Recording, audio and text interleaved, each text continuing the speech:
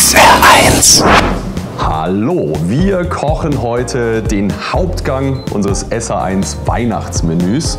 Es wird ein leckeres Zitronenbackhähnchen mit weihnachtlichem Kartoffelstampf und mit fruchtigem Feldsalat. Das hier, das hier mal noch ab. Okay. Vier. Komm noch ein. Fünf.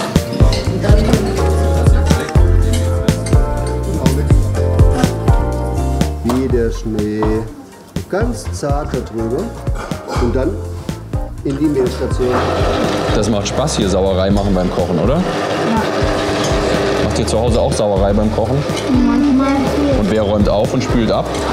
die Mama. Ja, ihr lacht.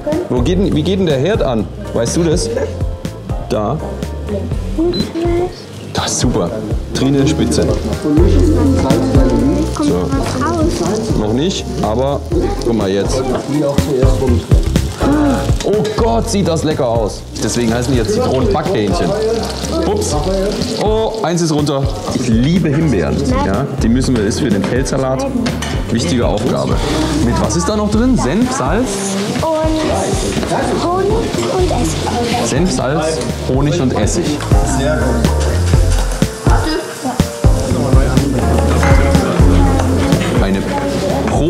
Profi-Kartoffelschneiderin ist die Trine. Was macht man aus Kartoffeln leckeres? Pommes. Ja. Ja, sehr gut. Abwischen. So. Sehr gut.